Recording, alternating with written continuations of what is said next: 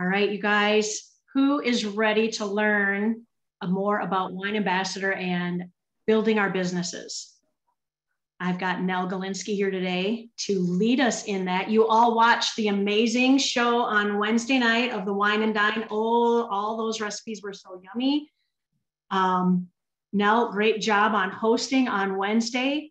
Thank and you. I know I took notes and ideas on all those recipes. What, do you, what are you going to teach us today? Well, actually, um, I did some research on uh, some history on prohibition in wine.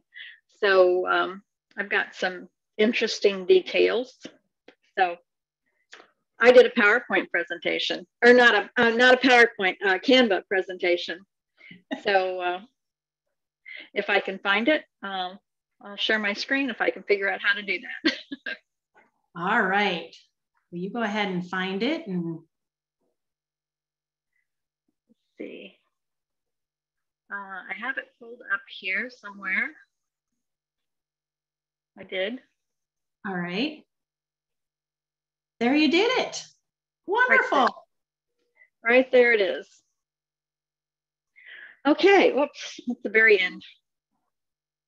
Hold on a minute. That was that an was, amazing presentation. that, that's the very end of it. Hold on a minute. I got to go back to the beginning. Ask me if I'm nervous. oh, you're fine. It's just you and me here. Okay. All right. Here we go. Um, I've heard Roy speak about prohibition and how it um, affected the wine industry over the years. So I decided to do a little bit of um, um, research on prohibition and find out exactly um, how much it did cost the wine industry. So here we go.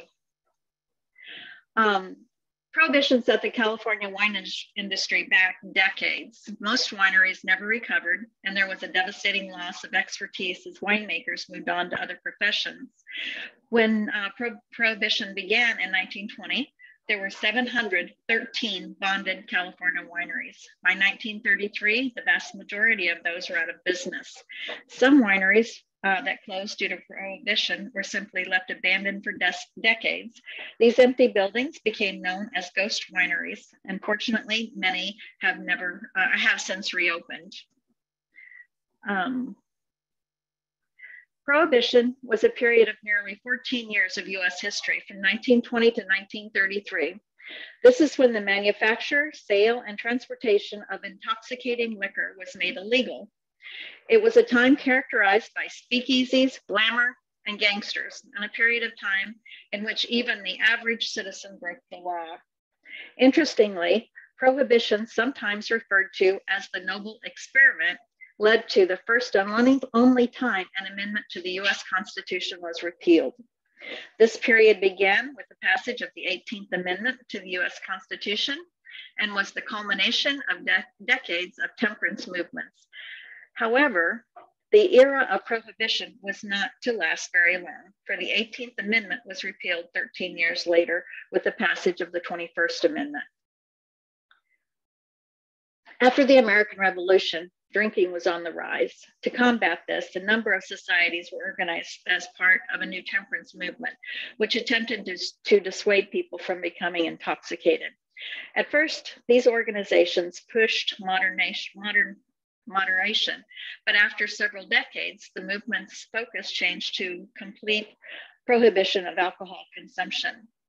The temperance movement blamed alcohol for many of society's problems, especially crime and murder. Saloons, a social haven for men who lived in the still untamed West, were viewed by many, especially women, as a place of debauchery and evil. Prohibition members, uh, prohibition members of the temperance movement claimed would stop husbands from spending all the family income on alcohol and prevent accidents in the workplace caused by workers who drank during lunch. Although prohibition itself lasted only 13 years, its origins can be traced all the way back to the temperance movement of the early 1800s. Many early advocates of temperance were Protestants who believed alcohol was destroying public health and morality. The first temperance movements began advocating abstinence from alcohol in the 1830s. One of the most influential dry groups is the American Temperance Society. 1847, members of Maine's Total Abstinence Society uh, convinced the state government to um, pass the 15 gallon law, the first prohibition law. The legislation banned the sale of alcohol in, in amounts smaller than 15 gallons, effectively limiting access to alcohol to the wealthy. 1851, Maine passes the Maine Law, banning the production of and sale of alcohol. The law includes an exception for medicinal purpose or medic medicinal uses. Um, this gets interesting later on. um, by 1855, 12 other states have joined Maine in banning uh, the production and sale of alcoholic beverages. Uh, political tension began to grow between the dry and the wet states. 1869, the National Prohibition Party is founded. In addition to temperance, the group promotes a variety of social reforms popular with progressives of the 19th century. In 1873, the Women's uh, Christian Temperance Union is founded. The group argues that banning alcohol will help reduce spousal abuse and other domestic problems. Later, the WCTU will focus on other social issues, including public health and prostitution, and will work to promote women's suffrage. By 1881, Kansas becomes the first US state to make prohibition part of its state constitution. Activists try to enforce the law using a number of different techniques. The most peaceful demonstrate outside saloons, others attempt to interfere with business and destroy bottles of liquor. In 1893, the Anti Saloon League is formed in Oberlin, Ohio.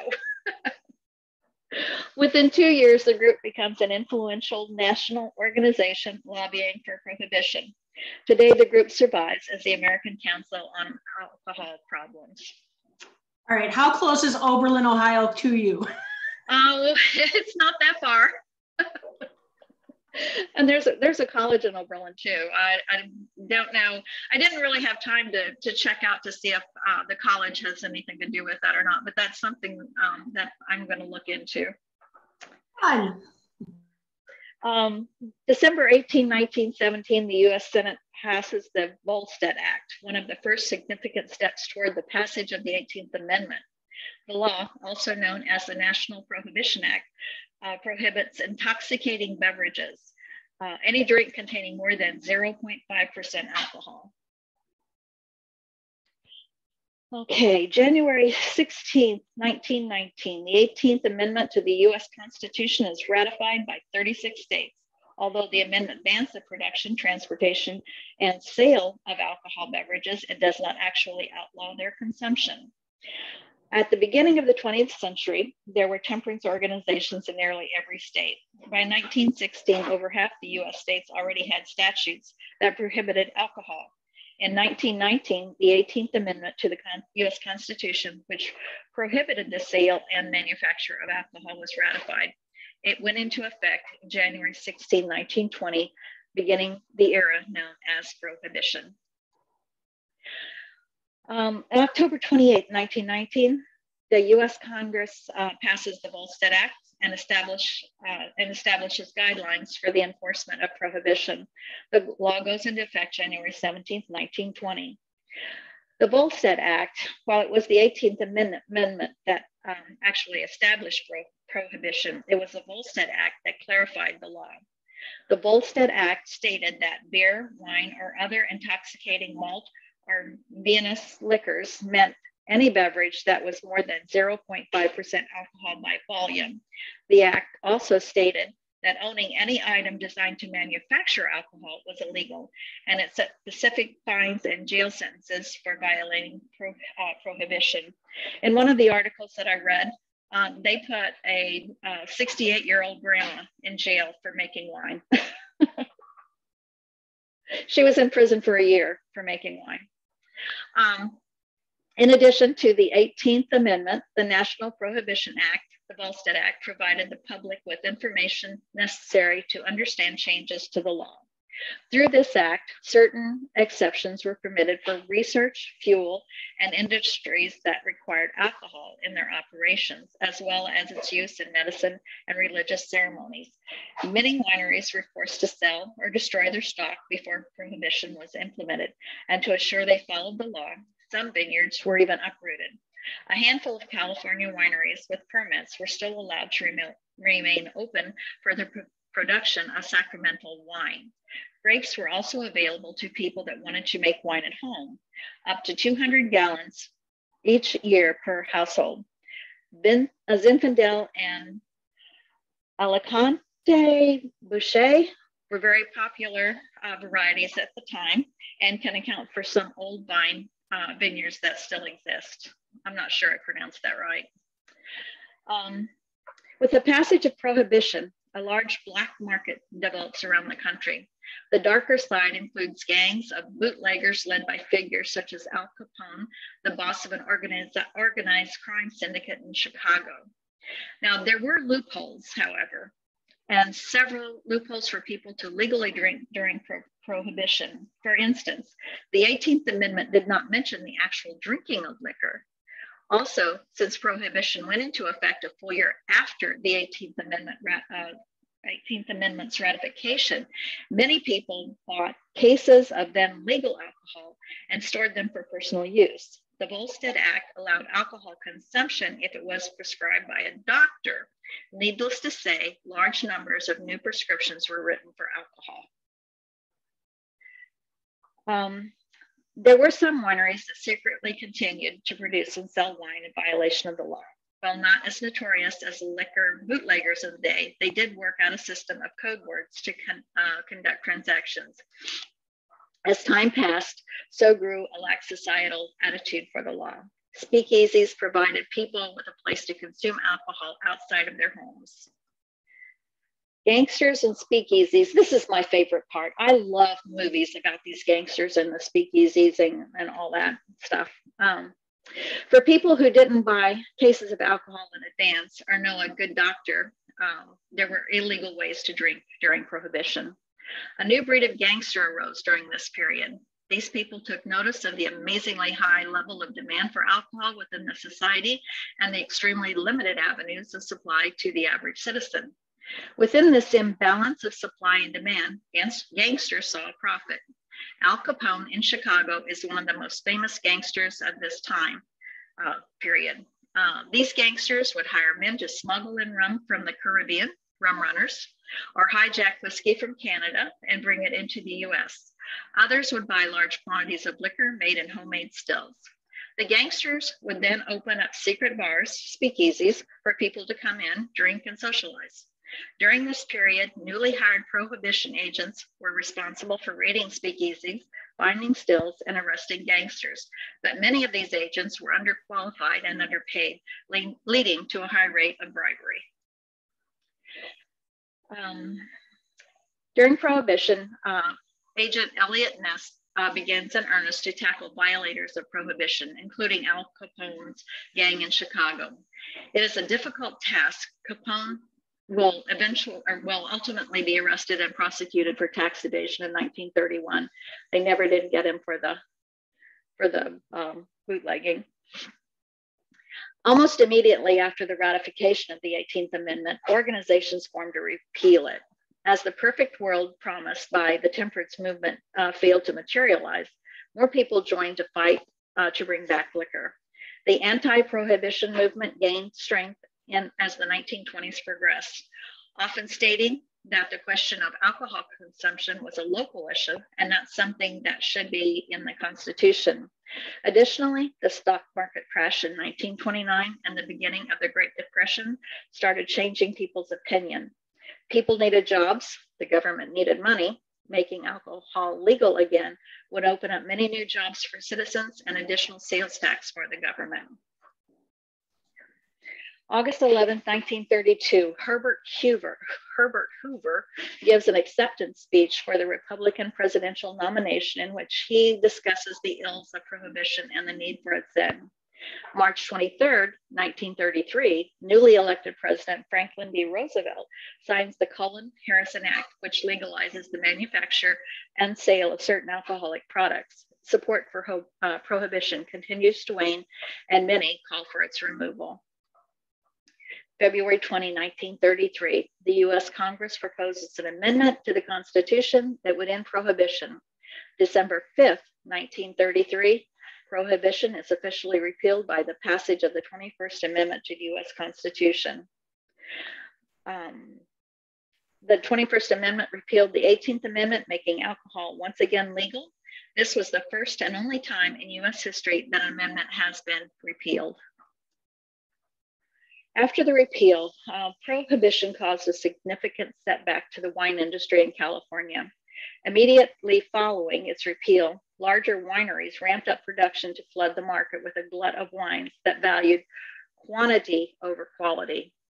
In the meantime, individual states were given complete control over their own alcohol laws, with many opting to remain dry until much later. Some counties and municipalities are still dry to this day. The 1960s and 70s brought about a wine renaissance that established California producers as serious contenders on the international stage. Today, each state has the ability to regulate the distribution of alcohol, and interstate commerce makes it easier than ever to enjoy great wines around the country. In fact, there are now wineries located in all 50 states. Now you know the story behind prohibition. Raise a glass to the drink that made it all worthwhile. Here's to wine. Now, I do have some, uh, some facts. Um, California is uh, America's number one wine state. I think we all knew that. And the fourth largest producer of wine in the world. California makes a significant contribution to the nation and all 50 states for, by providing quality jobs, bolstering economies through hospitality, hospitality taxes, and tourism. Um, here are just some uh, some facts that um, this is just on the California uh, effect on U.S. economy. It generates 114 billion dollars in annual economic activity, employs 786,000 Americans, gives 249 million dollars in annual charitable contributions, and pays over 15 billion dollars in taxes annually. And wine consumption for the last 10 years. Um, in 2012, um, the total wine per resident was 2.78 gallons. And in 2021, it's 3.18 gallons. So um, it, it, increases year over year. So uh, it's not going away. Um, thank you.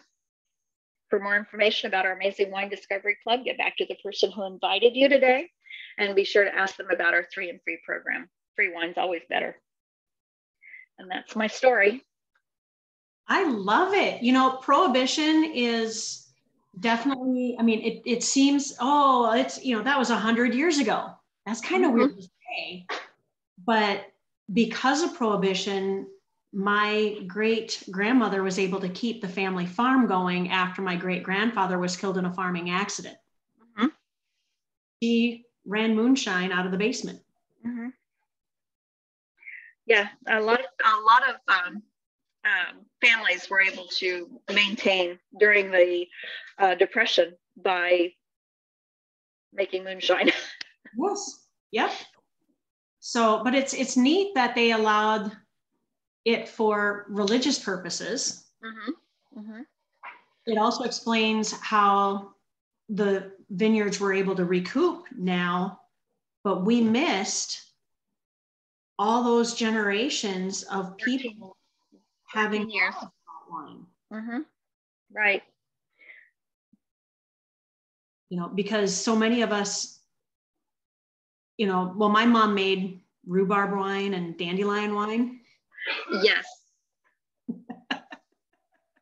yeah, we and, have a we have a friend that used to make um, dandelion wine, and and uh, he would make um, blackberry wine.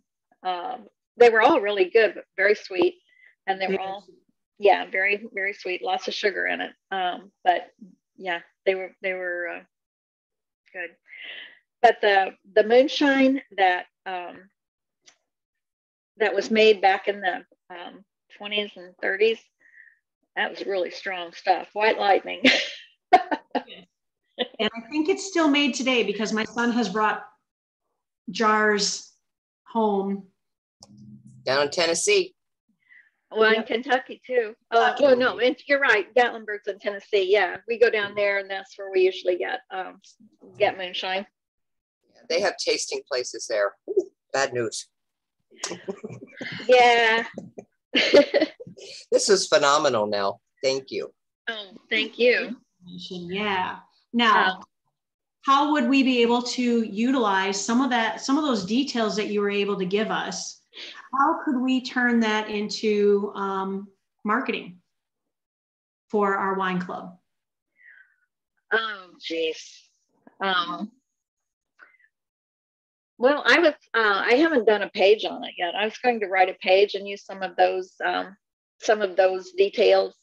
Certainly not all of them because that was like 20 pages, but um, but some of those. And um, actually, when you when you research prohibition in uh, you know on the internet, you find so many interesting stories, like the one about the grandma. I mean, they, they arrested a grandma, 68 years old, and put her in jail for a year. for trying, you know, because she was making uh, wine at home, but she was trying to support her family. And um, I, that was just amazing to me that they would do that. But yeah. She broke the law. Yeah. that's cool. I mean, I know my oldest son in Alabama. I mean, that's how NASCAR started, you guys, was moonshine runners through the mountains. Oh, yes. There was a movie about that. Yes, there is. Mm-hmm. And um, you know, I, I've been on some of those roads and yeah, no, I won't be driving them myself. I'll be in a vehicle.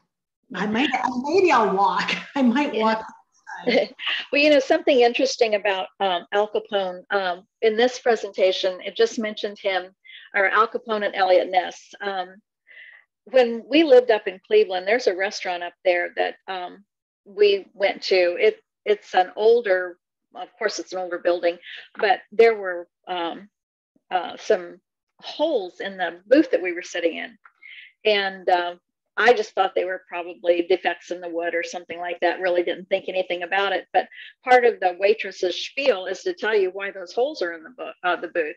And um, it just so happened that we were sitting in Eliot Ness's um, booth at that restaurant.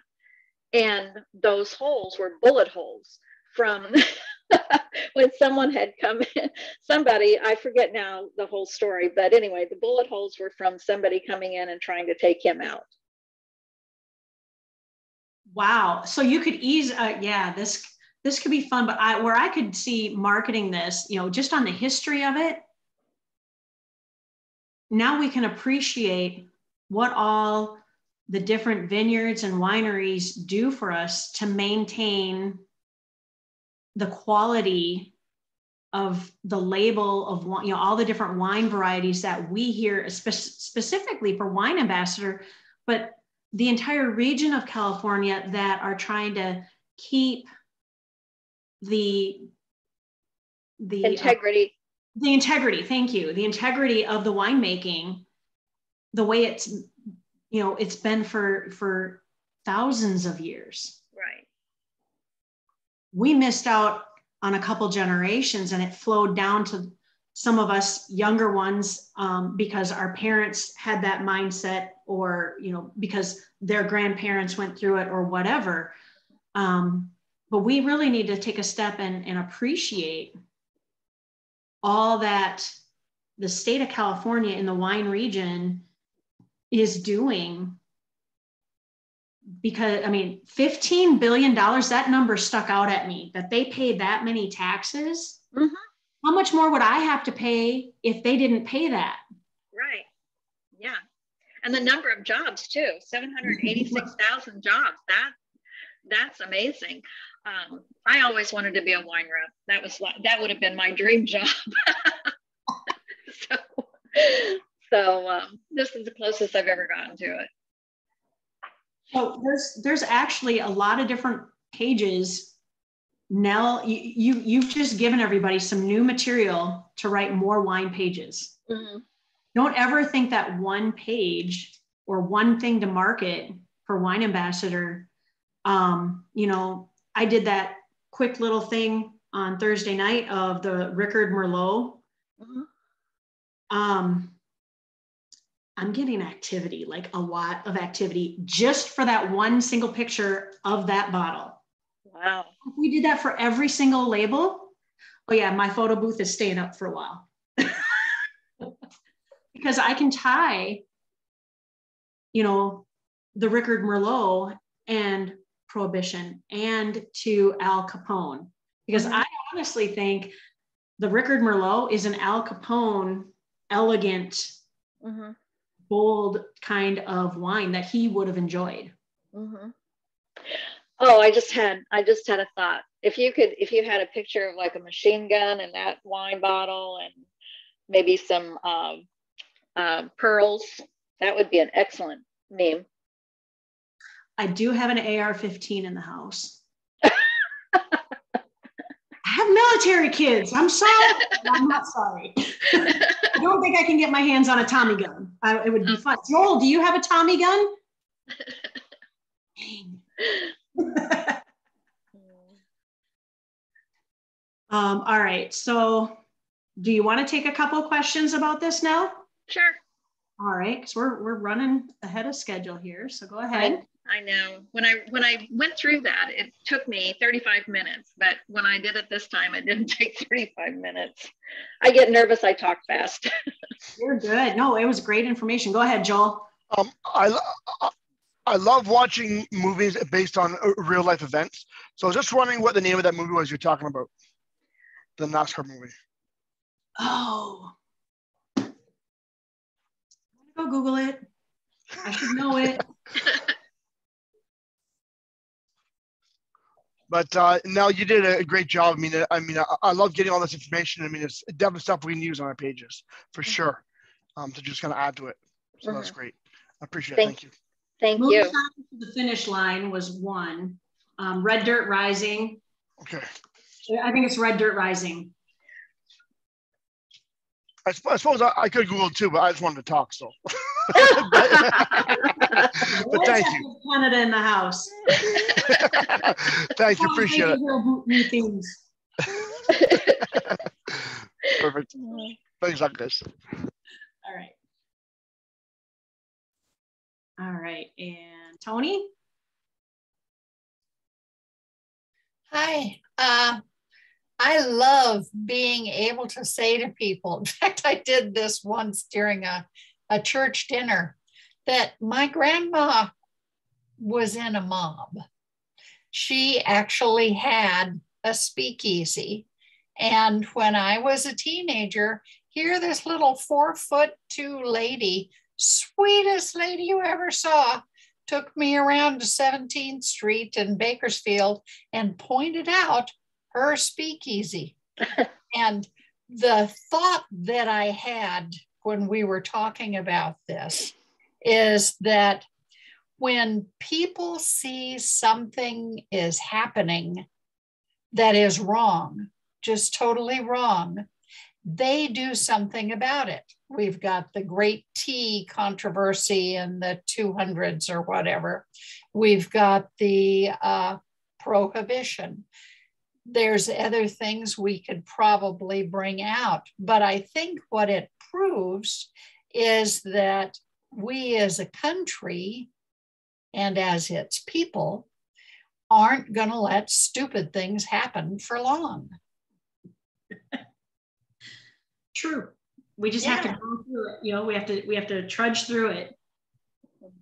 But I just, I never forget grandma, you know, saying, and this is the speakeasy, dear. oh, I love that picture. the speakeasy aspect, um, growing up in, in Minnesota, we knew about the St. Paul Caves.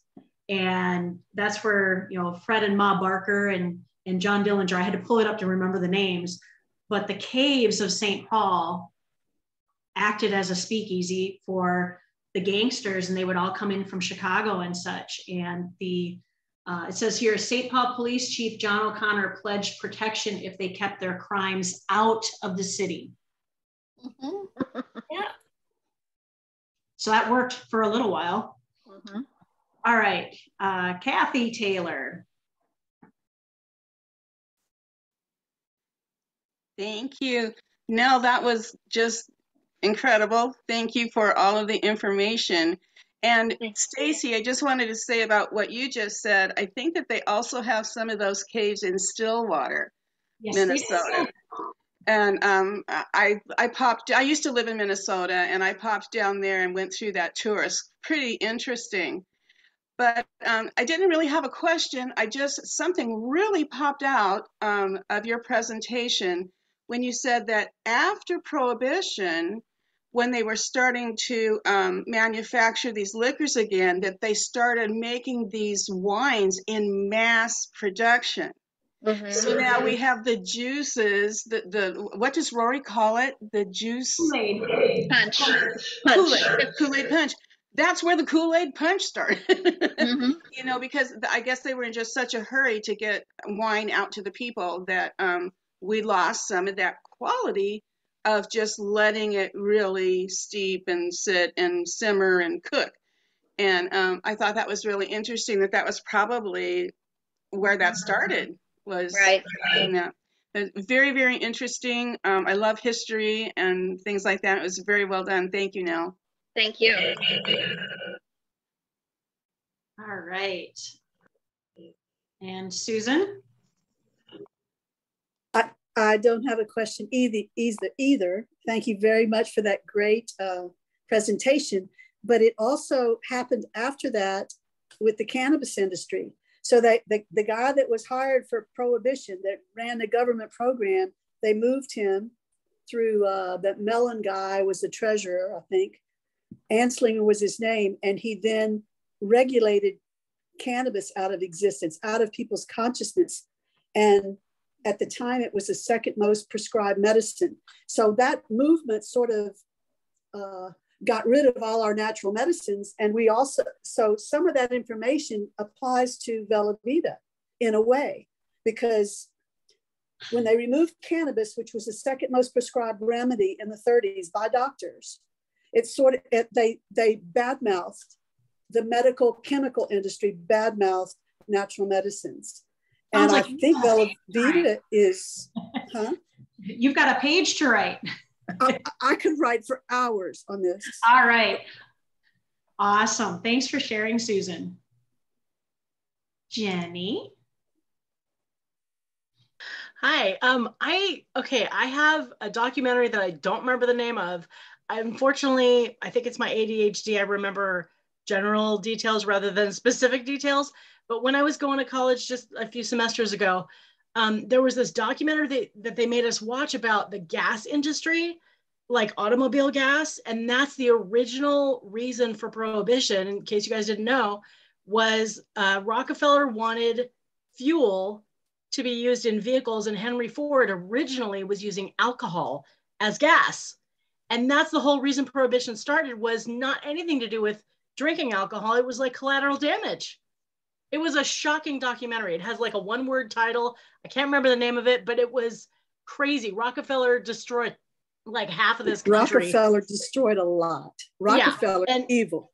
Yeah, he was the reason that that prohibition started. You know, I'm sorry to say, but it's like he was trying to destroy Ford, not the alcohol industry. You know what I mean? So I don't know. In case you guys didn't know that, I wanted to know if anybody knew that. That's, That's my question. So yeah, you know, there's you can this is where the you know we why we have wine as our number one anchor here. Bringing it all back to wine. We're on the wine investment mm-hmm. there's so many different ways different tangents you guys can go with your marketing campaigns. You can take it for new pages for those of you that have your pbs you know just expand and dream a little bit and have fun with it and you know utilize the tools we've been introducing you guys to like canva and tiktok. Don't be afraid of it. Um you know don't Stacey, be facebook either. Yes. Stacey, I will um, say one thing though. Um, the first time that I applied for Google AdSense, um, their comment was that I should change uh, the name of my website to something to do with wine because I my my website was all about wine. I had too many wine pages on my website. So if you haven't gotten Google AdSense yet, kind of um, you know don't don't do a lot of pages about. I had like 40 different pages on wine. and I had to take a lot of those off to get Google AdSense. So just And the other thing is, I know we were talking about the Tommy gun and everything. You don't want to use that on your pages because No. it won't go for Mm-mm. for Google either. No. I was thinking about your TikTok, Stacy. I was I was sitting over here threading. They're gonna shut you down. What they post on TikTok, doubtful. yeah, I know. I've seen some of them. Uh, All right, we've got just a couple more questions. Go ahead, Vicki. Okay, uh, is Nell's presentation going to be available to us? I missed some of it because I got kicked out for a while. Um, well, it's, um, I, yeah, I- if I can figure out how to do that. Okay, I'd appreciate that. It was very Okay. good, Nell. Oh, thank you. Interesting, very Thank you. interesting. Thank you. And Kathy.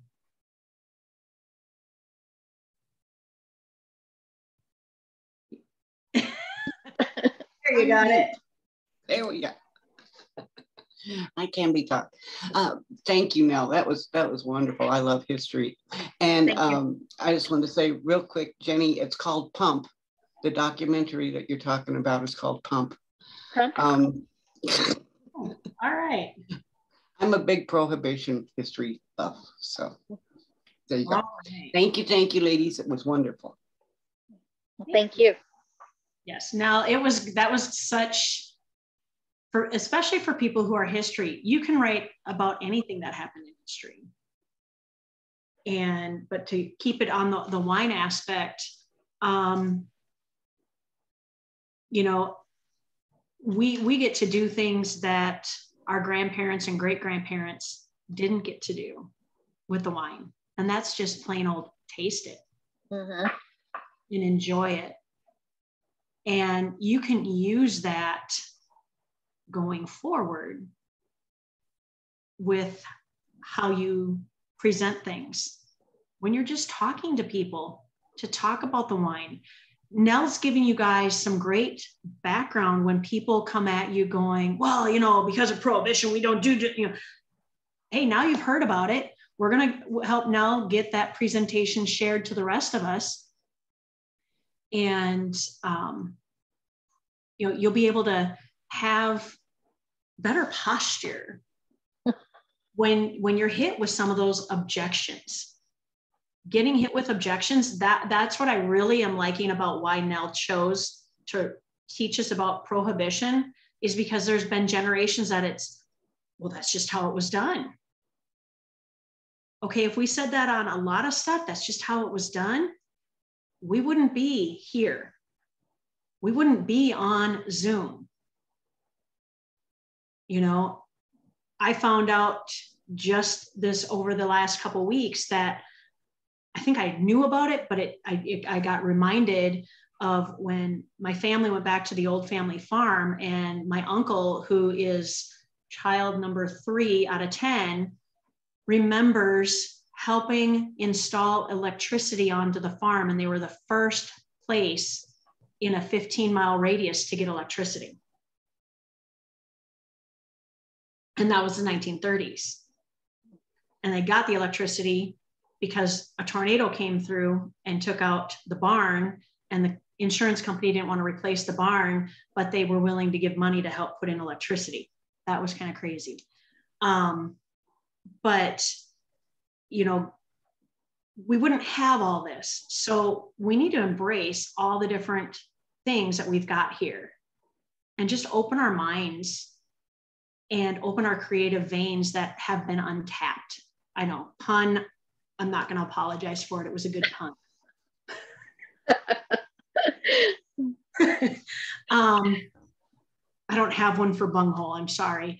Um, we know that the you know the the plug Yeah.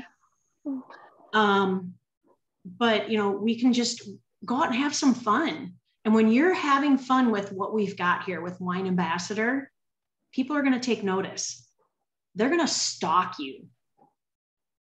And then someday they're going to ask you a question whether it be by email instant message on facebook how, in fa- in front of you in the store or whatever. They're going to ask you especially since we're all doing it together they're going to have the likelihood of them seeing it from somebody else they don't know is just going to edify you to your friends and family because they're going to see it from somebody else. But your friends and family aren't going to know about it unless you speak about it. So consider our wine ambassador opportunity the new speakeasy.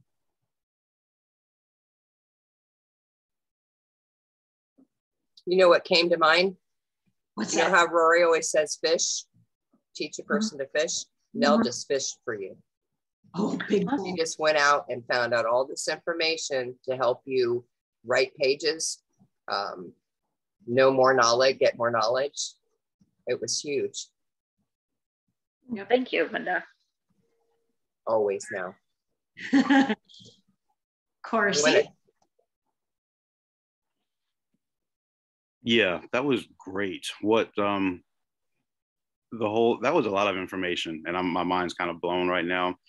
So yes, I would like to be in line to get some of that information. But what I wanted to say was to tie it back into like you want to write pages, but you can also use some of this information for like TikTok videos. And you can be the person that has like all of that stuff was like little known information. I didn't know doctors were writing prescriptions for alcohol back then. Like that just kind of that one little tidbit just blew my mind. So you can use that for these little 60 second videos or 15 second videos and maybe make your presentation on Canva or make a picture on Canva and use that as the background. That Canva will be a good way to incorporate maybe some gangster stuff with wine bottles and all of that stuff. So anyway, that's what I just wanted to encourage everybody. Oh, and batch recording on TikTok because you can have as many drafts as you want.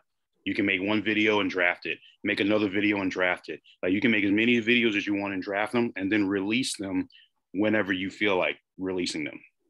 Like three a day, two a day. You, you know what I'm talking about? You could spend an entire day doing dozens of TikToks and mm-hmm. not have to make another TikTok and just sit there and hit post. Right. 30 seconds to get a new TikTok out on there. Right. Hmm. Hmm. Kind of like doing templates for posting ads. Mm-hmm. You get the template made and you can just post ads that much quicker. Hmm. It's almost like we have a system here, guys. Just saying. All right. Anything else, Linda and Nell? Nope. I'm going to tell you that DeCourcy, his handle is Decoy Williams on TikTok. Decoy. I just friended him. I think I'm already friends with him. Yeah, he followed. He he popped up in my feed, and I went follow. so then that's the nice thing with TikTok is when you follow someone, you don't have to wait for their approval. So those of us that have TikToks, I don't have to have a big lineup like Facebook to sit and hit approve or accept. Um, I'm going to stop the recording.